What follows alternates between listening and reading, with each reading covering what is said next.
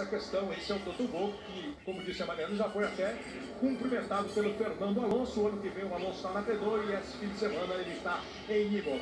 Os carros se alinham. Vai passar a bandeira verde lá atrás do último carro, que é do Giovinazzi. Para então a gente começar a contagem das luzes vermelhas. No momento em que elas se apagam, começa a corrida às 63 voltas do Grande Prêmio da Emília-Romagna na pista de Imola, na Itália, no norte da Itália. Tá tudo ok no grid. Vamos contando. Peraí, peraí, peraí, quatro, cinco. Elas se apagam. Eles baixam o pé e começa a corrida. Aqui à direita, o Bottas. Vou, peraí, vou, peraí, Não consegue acompanhar. O Verstappen tenta ultrapassar. O Verstappen parece botar o carro para ganhar a posição. Já ganha a posição. Ricardo larga bem. Consegue o Hamilton segurar o Ricardo, mas perdeu a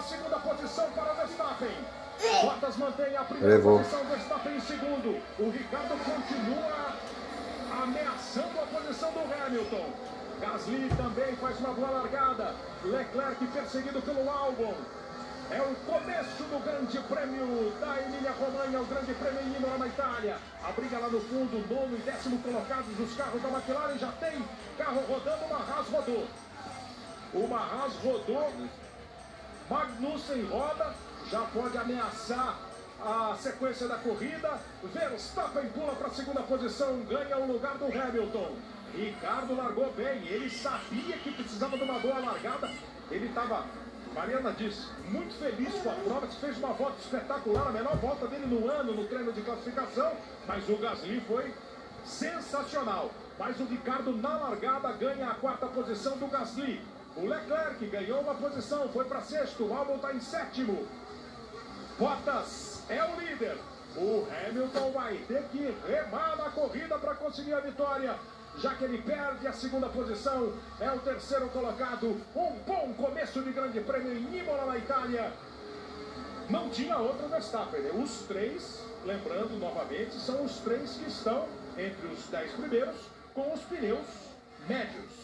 Kleber, você falou muito bem de destacar que o, o- o Hamilton vai ter que remar pela frente, o que é um circuito de. Olha, alguém lembrou esse enquanto estou no caso. Pode até ser Aí, ó, naquela. pode- Né, ele estava muito atrás, né? Se bem que ele estava muito Pode mais ser. atrás, né? Pode ser. Tá, É, enfim, mas é uma pista de. Olha, a repetição, vamos ver? Esse é o Stroll.